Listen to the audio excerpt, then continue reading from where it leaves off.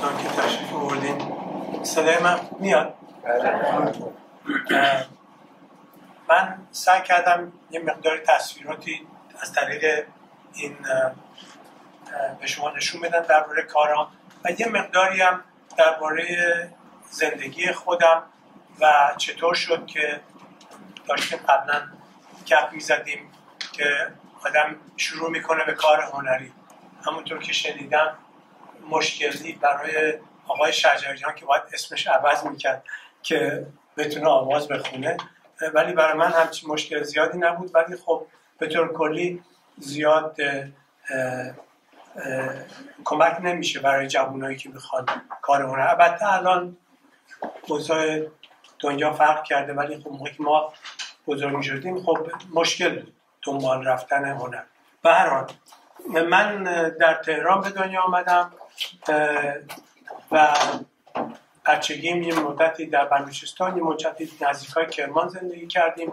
بعد اومدیم تهران. ولی پدر مادر من اهل آذربایجان هستند بودند. و میشه گفت ما نسبتا ترک هستیم. به ولی من متاسفانه وقت ترکی یاد نگرفتم و به بعد از در سن 15 سالگی در تهران که بودیم من تصمیم گرفتم برم هنرستان هنرهای زیبای پسران در تهران و اونجا شروع کردم تحصیل هنر نقاشی که هنر اصلی بود که ما درس می‌دادم الان من اینو بازش بکنم بیا بابا دیگه. coming البته باید معذرت کنم اگر بعضی موقع من لغت های انگلیسی من الان در حدود 47 سال اینجا زندگی می‌کنم. 23 ساله بودم که اومدم استرالیا. اصطلاحاتتون هنوز درجه که ایران؟ آره ولی خب از نظر صحبت کردن درباره هنر لغات مختلف و لغات های جدیدتری در ایران رسم شده به عنوان مثلا چیدمان. ما اینجا میگیم اینستالیشن یه چیزایی که من هنوز دارم یاد می‌گیرم. من در حدود در 15 سال اخیره که دو مرتبه به ایران برمیگردم و در اونجا کار می‌کنم و نمایشگاه دارم. تو چیزا از اون نظر دارم کم کم یاد می‌گیرم دوباره. برحال این یکی از ممکنه 17 18 سالم بود که این نقاشی رو در کرج با دوستان می‌رفتیم طراحی و این یکی از نقاشی های اصلی اولیه من بود.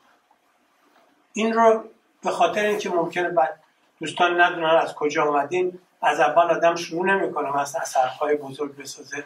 همینطور کارهای کوچولو روی گونی نقاشی شده. اسم کار و تاریخی که این کار درست شده در زیرش نوشته شده. امیدوارم بتونید ببینید. در همون سالهایی که من داشتم در, در هنرستان تحصیل می‌کردم یکی از دوستان من دعوت کرد که بیاد بریم همکاری در تئاتر. و من مش... شبها رفتم تمرین با تئاتر شهرانسه کار کردم. اونم من فیله هستم که اون بالا نشسته. یه چهار پنج سالی در مشغول این کار تئاتر بودم و امشب شب سهراب سپهریست یکی از شبایی که ما اونجا که تنها کسایی تقریبا فیل بود و که من بودم بعد خره و میمون فقط گیریم داشتن. گیریم منظورم برای اینا ماسکشون رو ور داشتن در برحال یه شب رفتم پشت تو اتاق گیریم. یه دفعه ماچم یه آقای نشسته با بیژن مفید. بعد من سلام دادم. ایشون بلند شد با من دست داد. ایشون آقای سهراب سبهری بود. و برای من به جز که ایشون خب آدم معروفی بود اون موقع ما همه جوجه بچه بودیم. خیلی برای من جالب بود که ایشون بلند میشه به یک جوون 17 ساله دست میده. من فکر کنم چه آدم باصفایی بود. از اون نظر یه خاطره خیلی کوچیکی از ایشون داشتم. ولی خب ایشون فکر می‌کنم از دوستان صمیمی بیژن مفید بود. بعد اون زندگی کوتاه من در تئاترم به جای خودش اولین نمایشگاهی که من در ایران داشتم در سال 51 بود که گروهی بعد من به خاطر این یه دفعه یادم افتاد که آره من از از این شعر معروف سهراب سپری در این چی میگن پوستر که نبود یه دونه تازگی پیدا کردن دوباره یه چیز ایفور به قول معروف. این رو من یادآور میگم. برای من خیلی قشنگه این شعر که همتون حتما آشنایی دارید. این میشه گفت که اولین نمایشگاه جدی من بود که در باغ ارم فکر می‌کنم نزدیک خوابگاه دانشجویان بود.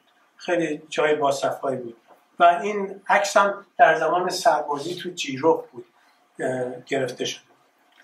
این یکی از اون نقاشی است که در اون در زمان سربازیم کشیده بودم. اون موقع من بیشتر ایده و افکارم درباره جامعه و سیاست فکر می‌کردم و به خاطر جوانیم فکر می‌کردم که بتونم با هنر دنیا رو عوض کنم. ولی خب کم کم زندگی عوض شد و بعد از اون من در سال 1973 که میشه 52 فکر می‌کنم یا 52 53 اومدم استرالیا. اینجا در دانشگاه استرالیا تحصیل کردم. از کارهای اولین به صورت ریلیف که میشه. کمی سبودی هستش و بیشتر احساسات درباره تفکرات خانه های ایران و فضای ایران می‌کردم. و این کار مال همون سالهای اول هنرستانم. در سال 1959 یک از طریق آرت گالری اینجا به من و یک گروهی از هنرمندان دعوت شد که یک منم این خونه رو به خاطر اون برای ادلایت فستیوال ساختم. یه اتاق خالی بود که مردم باید کلید رو در یه درختی پیدا می‌کردن که بتونن داخل. و اگر می‌خواستن چیزی بپزن می‌تونستن پشت اون اتاق بپزن من اوایل که اومدم استرالیا بعد یه مدتی در پرت بودم.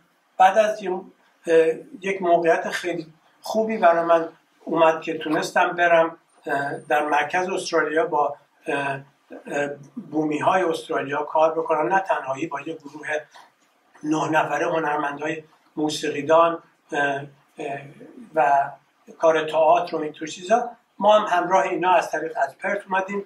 به حال هنر اولین دید هنر بومی استرالیا برای یه تاثیر خیلی مهمی گذاشت که همونطوری که تو این کار می‌بینید این البته طرحش از دست خودم هست که دارم دستم رو به بیننده ها نشون میدم. ولی تاثیراتی از کار هنرمندان بومی استرالیا و مصرف از مواد طبیعی برای من خیلی مهم بود.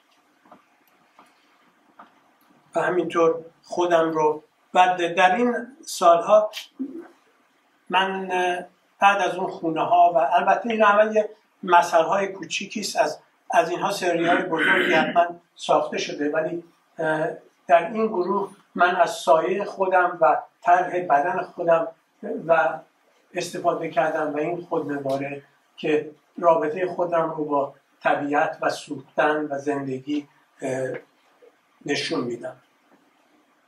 این یه کار سبودی به اسم رشد هستش که میشه سوال کرد یا اینکه آخر؟ بستگی به دوستان آقای حسنی اگه آخر لطف کنیم که بله. اگر من دارم همینطور مسلسلی میرم که وقت کوتاهی دارم. ولی توضیحاتون بسیار ارزشمند و قشنگ. نقاشی ها انقدر جالبه که اضافه سال تو ذهن میاد بعدم نمیشه پرسید چون می‌گذارید خب حالا وقت خب حالا که شما گفتی بپرسید. من تصویر قبلی اون قسمت از گردن بالا سیاه کشتی بودید با قسمت پایین خوب معمولی بود. این خب. سیاهی یعنی آتش میسوزه. زندگی مثل شعله است که میسوزه انسان رو. و هرچی میسوزی می‌سازی. خب اون از اون از مغز شروع میشه. حالا بگذاریم. بازم صحبت می‌کنیم. مثلا این و این یه جوری هم که اونجا نشون داد که این یکی داره به یه چیز دیگه عوض میشه این که همه چی داره از بین میره. Impermanence. چی میگن? نابود. نابودی؟ نابود. Impermanence. yeah. و شما همینطور می‌بینید بدن داره عوض میشه به یه نوردبون و نوردبون بالا رفتن به جایی نمی‌رسی. و این و اون. و از خاک درست میشی. همه خاک و طبیعت و و این جالبیست اینجاست که ما امشب بیشتر درباره شعر صحبت کردیم. و واقعا میشه گفت که در برای ما ایرانیا شعر مادر هنر هستش. از اون نظر منم سعی می‌کنم کارهام رو یک کار بسری شاعرانه درست کنم. از اون نظر معنی ها رو میشه گفت ولی بیشتر تفهم کار در دید بیننده هست. این یه کاری بود که در نزد... اون نزدیک رودخونه نزدیک فستیوال هایت هتل بود که الان بردن بغل بیمارستان ادلاید و سمری. سنتر اونجا دو مرتبه اونجا ساخته شده. بود از درون در زدن که ایده اول ایده تر اومد ولی خب بعدا یک شعری از مولانا بود که الان راست شبه های فارسی شدم نمیاد. و این شعر این یه دو بیتیه که میگه داشتم در می‌زدم در حال موقع در باز شد متوجه شدم من خود داخل خونه هستم. از این نظر این درباره اون بود. خوبیش اینجاست که از سال از اون سال تا حالا این کار رو جامعه استرالیا جامعه ادلاید علاقمند بوده که تونستن نگه دارن و دو مرتبه جای دیگه بسازیم این کار. این کار رو برای گالری کمبرا نشنال گالری من یکی از 25 تا هنرمند دعوت شد. من این را برای اونها ساختم. صحبت شکار بود قبلا. مادر بزرگ من می‌گفت شما هرچی می‌زنی گنجشکینا هد و نزن. این گناه داره. نمی‌دونم چرا گل گنجش گناه نداشت. برحال این این از یک طریقی موقعی که آدم شکار می‌کنه در یه چیزی از خودش رو پرت می‌کنه. این من پر اون سنگ ها هستم هنوز. هنوزم بلد نیستم چطور هد رو پیدا بکنم. هدهد گفتن سیده بچه سیده به این خاطر نبود. خب دیگه اونم یه داستانی دیگه آره. این کار کد در راه آره این منم و سایم و و سایه خوبیش اینه که نه خوبیش یا بدیش اینه که باید نور باشه. موقع نور نیست سایه نیست. از این در من با سایه خیلی کار کردم. و این مثل چارلی چاپلین نمی‌دونم کی بود با یه نونی همراش می بود سفر می‌کرد همش درباره سفره همش درباره سفر. نه به اون صورتی از اینجا برو به اونجا. ما که زندگی می‌کنیم خودش یه سفر است از اون نظر اینه که ولی خب اون هدهد داره از قلب من رد میشه. از سایه من داره رد میشه. آره تو اون چیزم پاچه ابریشمی دستمال ابریشمی هم یه نون هستش همیشه اونجاست. اینم منم دوباره کتاب باز. این داستان سایه رو در کار دائمی در توکیو در سال 73 ساختم که میشه 93 94 به ما گفتن که بیاید یه کاری در جلوی خیابون بذارید. منم گفتم که اونجا ماشاءالله ژاپنی اینقدر آدمای ترتمیز یعنی که آشغالاشون و این همه چیزهایی که میارن می‌ذارن تو خیابون همه چی خیلی جمع جوره. به هر حال منم این ایده به نظرم اومد که یه صندلی از اینجا البته این برونزی ساخته شده کفش گیوه اونجا ساخته شده و منم خود همیشه اونجا هستم. نه خودم شخصا ولی سایم همیشه اونجا هست و میگه به تماشاچی شما اینجا بشین. من چشممو نگه میدارم اگه ماشینی اومد و اینا به شما میگم. و این کتابم که همون درباره شعر رو البته کتاب رو نمیشه باز کرد اونم بسته است. در این سالها من سفری به ترکیه کردم و آشنایی با رقص درویشان داشتم. و قبلا دیگه دوستان می‌پرسید درباره چرخیدن و رقص و یک کاری دارم الان تو آرت گالری اینجا که درختی است که دور خودش میچرخه. ولی این کار رو من در یه موزهی در همین سال در هلند نه هلند ببخشید لهستان این کار رو انجام دادم. البته الان این کار در موزه در سیدنی است نان روزانه خاطره است از مادر بزرگم. مادر بزرگ ما ما رو می‌برد ما یاد می‌داد که کجا بری نون بخری هر روز. خب یادتون میاد که ما باید هر روز یکی دو مرتبه می‌رفتیم. و من احساس می‌کردم عشق مادری مثل اون نون هر روز واجبه. It, it is necessary. واقعا لازمه که ما به عشق و به نون یه چیز هم مادی هم احساسی احتیاج داریم و این از یک این چادر سیاه که مادر بزرگ منه خیلی خانم کوچولوی هم. و اونم که موسنگه مثل یه موشک داره میره به یه دفعه اتفاقا تو نمایشگاه اونا که داشتن تمیز می‌کردن اومدن این سنگا رو تمیز کردن. نمی‌دونستن که این سنگا که خلاصه باید رفتیم سنگای تازه می‌گیره این کارم فکر کنم همین الان هست توی آرت گالری. ممکنه من این رو حتی نوشتهش رو از در دیکتهی اشتباه نوشته باشم متوجه نیستم. به هر حال اینم یکی از اشعار مولاناست که میگه پیرهن میبدرم دم به دم از قایت شو که وجودش همه او گشت و منش پیرهن بعضی کارها بیشتر تصادفیه. و این هنوز این, این کار برای من واقعا یک من یک کار یک هنرمند آمریکایی video artist دیدم که ایشون خیلی از اشعار مولانا تاثیر گرفته بود. بعد این یه شعری پیدا کرده یا ترجمه مردیش خوندم که گفت برای درختان که بخوان سعی بکنن به نور برسن باید ریشه هاشون رو در تاریکی نشون نگه دارن. به این ایده که تاریکی و نور با هم تضاد خیلی قشنگی داره بدون نور تاریکی نیست بدون تاریکی نور معنی نداره. برای این همونه نتونستم عنوانی برای این کار بذارم. من در این سالها چند سال قبلش درباره این کار فکر می‌کردم. نمی‌دونم وقت چطوره. دارم زیاد. آره. اشتیاق و تعلق من در حدود پنجاه سالم بود اون موقع. یک کمی کم و بیش. سعی کردم باید این رو جشن بگیرم. برم کمپ برم پیکنیک.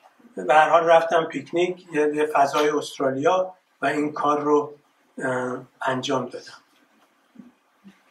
این الان در موزه سیدنی هستش. این سایه من دوباره به جور این ما همون گفتم بچگیامون بلوچستان بودیم خاله که زیر این میز هستش از بلوچستانه و اون نوری که اون من دارم میفتم زیر میز از سوراخ‌های روی میز به وجود میاد. و اون نور این بدن رو دوباره زندگی می‌کنه. یادم میاد یکی از من احساس می‌کنم جوان ها بچه های خیلی بیشتر دید عمیقتری دارن به هنر. یکی از بچه ها گفت اینا مثل تیله است. چون میرم اونجا با این تیله ها بازی می‌کنیم. واقعا برای من خیلی جالبه این کاری است که به همکاری همسرم انجلا در سال 79 که میشه 99 در سیدنی ساختیم که هنوز هست. یه یادبود خیلی بزرگی است برای قطعی در ایرلند. و اسم در بعد از قطعی در زمان قطعی در ایرلند که سیب زمینیاشون گندید و از گشنگی مردن خیلی ها آمدن استرالیا. اسم بعضی از این خانم ها که اومدن این محل روی این شیشه حکاکی شد. اینم دوباره این کاریست به اسم دیوانه ها ماه را دیدن اثری است درباره دیوانگی ماها که همیشه دنبال نور هستیم. و این نوردگون ها خودشون جنسشون عوض میشه. هرچی بالاتر میرن کمتر به درد ما می‌خوره. این هفت پیله است که نصفش حقیقت داره نصفش فقط در آینه در سقف اتاق نمایش دادنش این هم همون مادر بزرگی است که داستانشون رو بهت گفتم. من از هم بچگی فکر کنم زمان خاش بودیم در بلوچستان خیلی علاقه داشتم به کارهای دستی. البته همونطور که می‌بینید کارهای من خب ایده های زیادی دارن و ولی خب ساختن خود کار و همون مثل کارگر بودن برای من خیلی مهمه. پسیر بافی یکی از چیزهای خیلی عزیزیه برای من. و این کار که همون دوباره مثل سایه خودمه از یک شاخه نخل درست شده و چیز هیچی اضافه بهش نشده. مثل بازی هنر ساختن و باید اول خودت عاشقش بشی بعد می‌تونی ببری نشون بدی به مردم بیرون از آتولیت یا استودیو. یادتون میاد که اونایی که همسن سال های مثل من هستن که ما کتاب های فارسی داشتیم که نشون می‌داد که چی میگن؟ چی میگن؟ نون نه انار جیب البته این مال زمان بعد از انقلاب بود که چیپ هم داشت من این رو یادم میاد که موقع بعد همون کلاس اول دوم دبستان بیشتر به خوندن و نوشتن توجه نمی کردم بیشتر همون عاشق اون عکسا بودم که باشون بازی می‌کردم. من اینو من حالا نمی‌دونم این ترجمه درستیه یا نه. اسم این کار learning to read. یاد گرفتن خواندن. ولی خب هیچی یاد نگرفتم.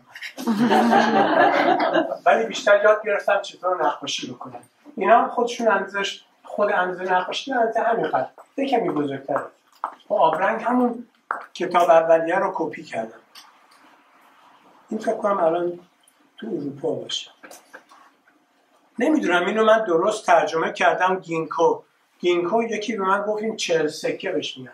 و اینا برگ درخته. من عزیز یکی از امشب دوباره صحبت طبیعت بود صحبت سهراب سپهری بود. و رابطه هنرمند با طبیعت. من فکر می‌کنم برای من خیلی مهمه این رابطه. و به جز اینکه هنرمند ایرانی به من تاثیر گذاشتن بودن در استرالیا و آشنایی با هنرهای بومی استرالیا من رو به طبیعت بیشتر نزدیک کرد. اینم مار پله. من فکر می‌کنم مار خودش توی همون پله هست. و, و این علامت اون مار تلاست که مادیته. این کاری بود. من در اون سال در ژاپن یه دو ماهی رزیدنسی داشتیم و تصمیم خیلی کاغذهای خیلی خوبی توی استور روم اینا توی استودیو اینا داشتم. من گفتم باید یه کار خیلی بزرگی از کار بود از با روی کاغذ بکنم. بعد این الان 20 تا قطعه های مختلف کاغذ هست و این کار اتفاقا اسلایدش هم درست نیست. برای اینکه نه درست درست این رو من در حدود یک ماه طول کشید تا این من رو این نوشتم به اسم تمرین و لغت عشق رو تکرار کردم تمرین کردم. و این رو با زعفران ساختم و با آب باتی کردم. البته خب زعفران مثل رنگ نیست. آره داره این الان توی کمرا تو موزه هستش ولی داره کم کم رنگش میپره. خیلی جالبه. بهشون گفتم این ممکنه بپره. گفتن عیب نداره. ولی خب اینم یکم کوچیکترشه. من با لغت بازی می‌کنم. هم انگلیسی هم فارسی. تکرار مکرر کردن.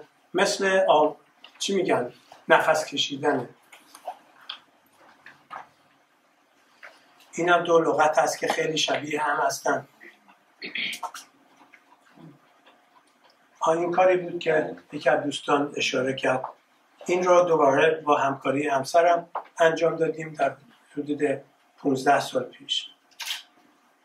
و تاثیر این کار از یک دایناسور خیلی قدیمی در موزه هست اینجا ایچیوسورس. و این ستون فقراتش اوپولایز هستش مثل اوپول اینقدر هم بیشتر نیست. مثل یه پرنده دایناسور بوده قبلا. اون به ما اینو الهام داد و و از گرانت نزدیک ادلایت ما اینجا گرفتیم. به هر حال این رو ساختیم که و خواستیم که مردم بتونن داخل این کار وارد بشن و آب همیشه این رو تازه نگه داره. البته چهارده قطعه هست در این کار. همونطور که گفتم من در حدود 17 سال اخیر دارم برمیگردم ایران و رابطه شروع کردم با هنرمندا و هنرستان ها و نه با چیزهای رسمی اونجا ولی خب با جوان ها با واقعا خیلی برای من مهم است که دو مرتبه این, این رابطه رو برقرار کنم یکی از روزها در خیابون روزنامه پیدا کردم که این عکس در اون روزنامه بود. البته می‌بینید نصفش بود. من فکر کردم این یه ساختمون دارم نگاه می‌کنم ولی متوجه شدم نه اینها قبرهایی است در بهشت دارن همینطور حاضری می‌کنن منتظرن که که مردم و این مقاله درباره گرون بودن زمین هستش که آدم حتی چقدر گرون آدم بمیره. من البته از اون نویسنده و عکاس این کار اجازه گرفتم که این کار رو ساختم. البته من تنها کاری کردم این عکس رو دبل کردم. این هم یک کاری است از شاخه های مو ساخته شده همش درباره مستیه. هنوز نمی‌دونم این مستی چیه. آیا واقعا مستی مستیه یا مستی هستیه؟ هر, هر کسی نظر خودش رو داره. این البته نصف شعر هستش. این شعر البته یه نصف دیگه اونجا داره. ما اون نصف رو ولش کردم فقط دنبال مستی. بود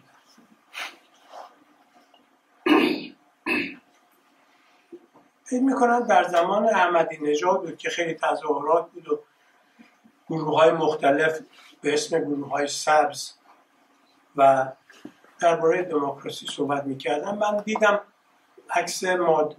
ویدیویی از مادری در نزدیک زندان داشت. منتظر بچهش بود و می‌خواست بره دیدن بچهش من احساس کردم این مادر چی می‌تونه برای بچهش ببره؟ من فکرم یه لحاف خوبه.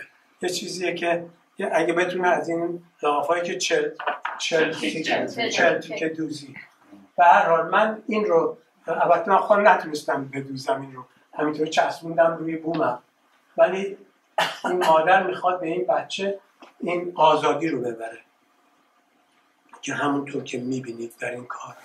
سقف از تاقهای ولی من با برگ نیلوفر آبی این رو ساختم. این فیلمی بود که چهار پنج سال پیش در ایران ساختم با کمک پسرم به اسم چارسو که در اینجا در حدود پنج سال پیش نمایش داده شد. در حدود سی دقیقه است و صبح تا شب یک بازار معمولی بیوت خیلی قشنگ عراق رو نشون میده. و این آخرین اسلایده که به شما بگم با این مشکلاتی که همه داریم الان این هم خواهد گذشت.